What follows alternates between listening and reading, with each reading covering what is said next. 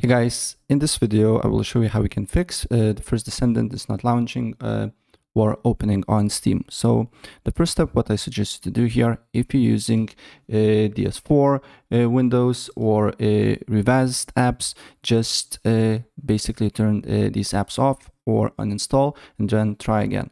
Also try to just uh, disable and unplug all the controllers, all the uh, racing wheels you have or something similar to that, all the peripherals, and then look if the problem persists or not. Uh, also disable all the overlays. So for example, uh, the first descendant itself uses overlay. So just disable overlay itself.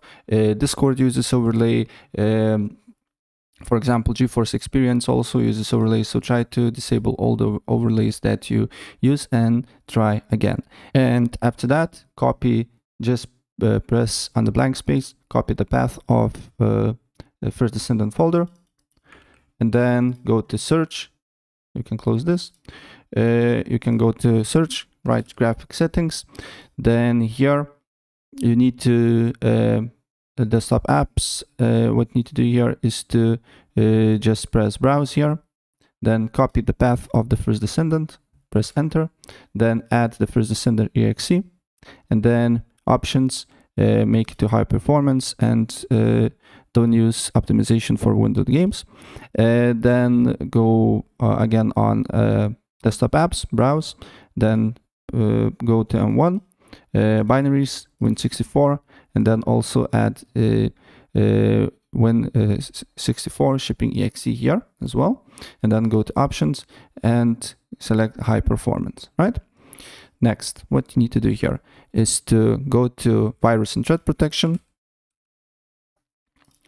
Then here uh, again you need to go to uh, here virus and threat protection. Then scroll down go to exclusions add remove exclusion press yes um, then we need to wait for a couple of seconds, add exclusion folder, uh, copy the path again, press descendant, and select folder, and add it here. Uh, next, what we need to do here, uh, go to Windows, right Windows Defender Firewall, then go to allow an app or feature to Windows Defender Firewall, change settings, browse, uh, allow another app, uh, then here browse, uh, also copy the path of first descendant, add exe file. It, it should be called bootstrap package game. Uh, as you can see here, already added, so uh, there is error for me. It should be here. And also allow another app again. Go to browse, uh, go to M1, binaries, Win64, and add this as well, right? And uh, then you need to look if the problem persists. And after that, go on Steam. You can close this. Uh, go on Steam. Go press on the Steam icon on the top left. Go to settings and on settings, you need to go to downloads and clear download cache, right? And after that, Steam should uh, restart. And uh, after, uh, after uh, Steam restart, uh, go to the first descendant, right click on it, go to properties, installed files and verify integrity of the game files and look if the problem persists.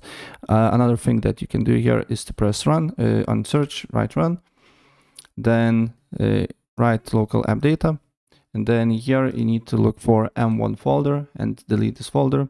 Uh, don't worry about it, it's just the cache files. it won't affect your game. And uh, after that, look if the problem persists. If the problem persists, go to search, go to settings, go to Windows Update, uh, check for updates, and if there is an update for you that you need to download and install it, please do so as well. Also, with your GPU as well, uh, depending on what GPU you're using, go to drivers. Uh, then, if there is an update, install it here and look if the problem persists.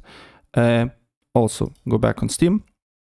Then, first descendant, properties, launch options, and then write uh, minus dx12 and launch the game. If it's not launching, then change it to minus dx11, right? And that should fix your problem, right? So yeah, that's pretty much it. And if I help you out, please press like button and subscribe for more. Take care. Bye.